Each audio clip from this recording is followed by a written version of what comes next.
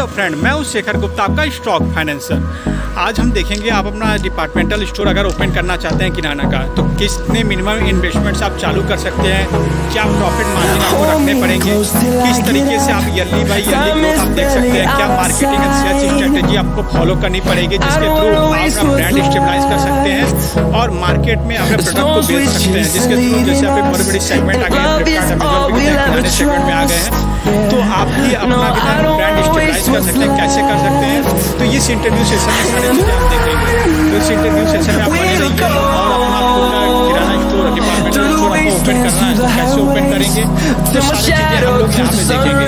तो इस interview session के बाद हम लोग डिस्कस करेंगे किस तरीके से हम लोग अपना डिपार्टमेंटल स्टोर ओपन कर सकते हैं। सारी जानकारी आपको यहाँ मिलेगी।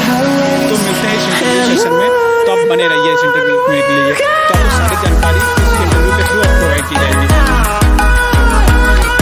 शेखर गुप्ता, आपका स्टॉक फाइनेंसर को आज हम आए हैं डिपार्टमेंटल स्टोर अगर आप अपना खुद का डिपार्टमेंटल स्टोर ओपन करना चाहते हैं तो आप किस तरीके से कर सकते हैं? क्या मिनिमम इन्वेस्टमेंट आपको लगेगी? क्या प्रॉफिट मार्जिन आपको यहाँ पे मिलेगा? क्या कहते हैं सेल्स एंड मार्केटिंग स्ट्रेटेजी आप यूज़ कर सकते हैं, जिसके थ्रू आप अपना ब्रांड क्रिएट कर सकते हैं और जिसके थ्रू आप अपने कस्टमर को रिटेन कर सकते हैं? तो सब चीज़ जानते हैं यहाँ पे। तो कल मिलते हैं स्टोर के मालिक से तो उन्होंने किस तरीके से शॉप को ओपन किया किस तरीके से उन्होंने प्रॉब्लम झेली किस तरीके से उन्होंने इन्वेस्टमेंट लगाई? तो सर अपना नाम बताइए। अजय चौरसिया। ओके ओके तो सर आपके कहते हैं आपने ये दुकान अपने डिपार्टमेंटल स्टोर का ओपन किया था?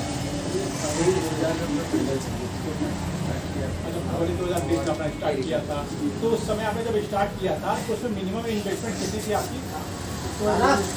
थर्टी लाख। थर्टी लाख में आपने चालू किया था। Okay okay. तो सर कहते हैं आपने जैसे अभी अभी पुरानी जो है लगभग में आपका डेढ़ साल आप मान सकते हैं। तो डेढ़ साल में कहते हैं आपने किस तरीके का प्रॉफिट मार्जिन इसमें देखा इस स्टोर का ओपन करने में? प्रॉफिट मार्जिन तो बहुत कम है।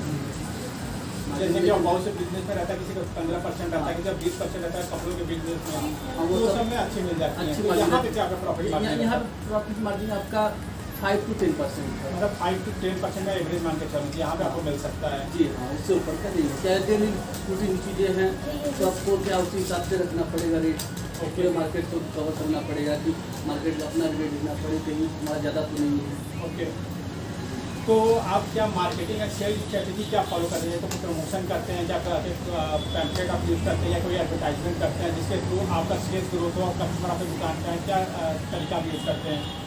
अपन पम्पलेट भी बांट हैं पेपर में। ओके ओके पेपर में न्यूज़ भी देते हैं अपन देते रहते हैं। उसके अलावा अपना अपने खुद का ऐप बनाया हुआ है।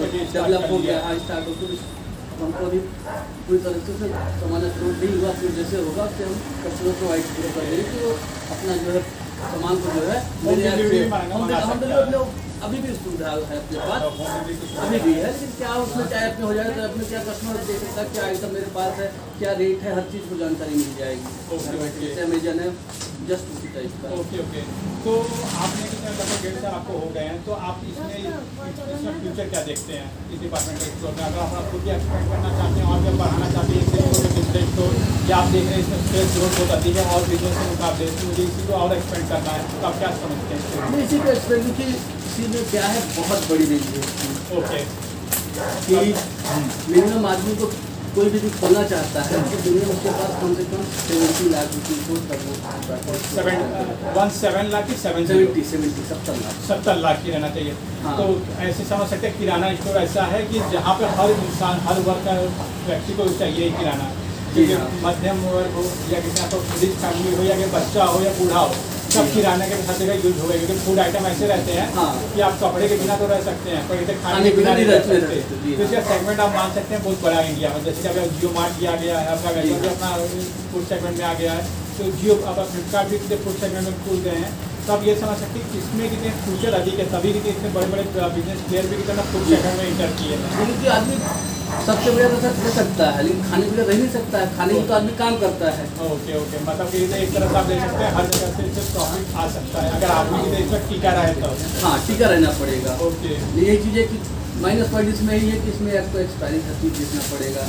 एक्सपायरी आपके बहुत डैमेज होते हैं चूल्हे काट देते हैं चीज़ खराब कर देती है। तो वो क्या उस चीज़ को थोड़ा माइनस पॉइंट है वो। माइनस पॉइंट तो है है। वो।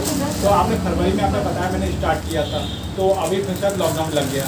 तो आपके सेल्स को तो आपने देखा होगा शेयर तो ग्रोथ डाउन हो गई होगी। जी हाँ सेल डाउन हो गई। तो फिर उसके बाद जैसे अभी मार्केट रिकवर कर रहा है?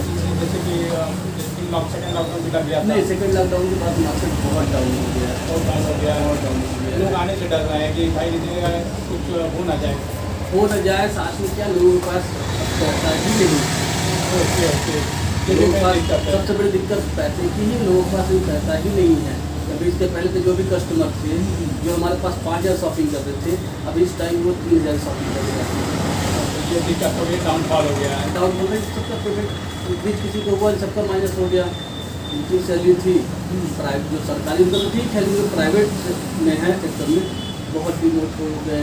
उनका सैलरी कम हो गया। हर जगह ये क्राइसिस आदमी के पास पैसे नहीं है।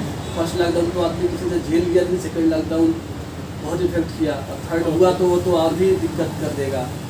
ओके तो आप जैसे बहुत से किराने स्टोर रहते हैं वो कहते हैं डीलरशिप और डिस्ट्रीब्यूटरशिप की तरह काम करते हैं जैसे कोई किसी कंपनी का डीलरशिप ले लिया और दूसरे डिस्ट्रीब्यूटर ले लिया उस तरीके से वर्क करते हैं। तो आपको क्या लगता है कि प्रॉफिट मार्जिन किसमें रिटेलर के थ्रू है या रिटेलर के थ्रू ले रहे हैं या डिस्ट्रीब्यूटर के थ्रू आप अपना डायरेक्टली उठा रहे हैं? किसमें प्रॉफिट डायरेक्ट उठाएँगे आप डिस्ट्रीब्यूटर से पूछ जाता प्रॉफिट है।